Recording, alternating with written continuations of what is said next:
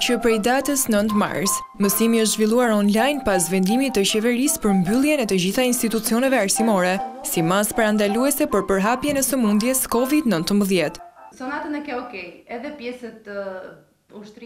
Ky proces ka qenë më i ndërlikuar në degë të caktuara. Përfshirë këtu mësimin në mënyrë virtuale të pianos.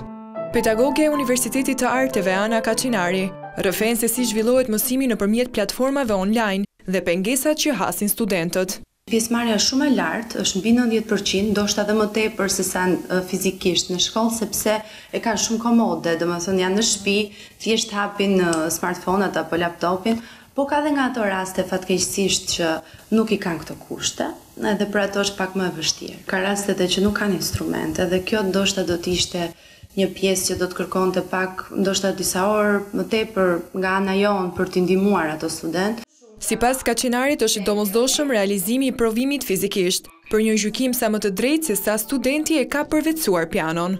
Përveç kushteve teknike që ka raste që të pengojnë mësimdhënien, por mendoj që gjëja më e rëndësishme është që të vazhdojë viti shkollor. Kam dëgjuar së fundmi që po flitet qoftë për një javë apo dy javë që të paktën të bëhen fizikisht dhe ndoshta sezoni i provimeve do ishte mirë për t'u bërë fizikisht, sepse sado dëgjimi ne kemi dhe mësim në grup në instrument që janë disa instrumenta edhe nuk është njësoj si t'i ndjekësh direkt. Nga ana tjetër, edhe studentët e infermierisë e kanë të vështirë mësimin nga shtëpia. Artiola, e cila është në vitin e dytë, thotë se marrja e leksioneve të shkruara apo ilustrimi me disa video nuk është i mjaftueshëm për të përvetësuar lëndët e infermierisë. Ka goxha vështirësi sepse është ndryshe kur e zhvillim në auditor. Bashkëbisedimi me pedagogun është shumë Më i rëndësishëm se sa thjesht leximi jonë nëpër emaile, shumica e lëndëve janë shumë që kërkojnë më shumë shpjegimin se sa thjesht leximin që marrim ne nga emailet.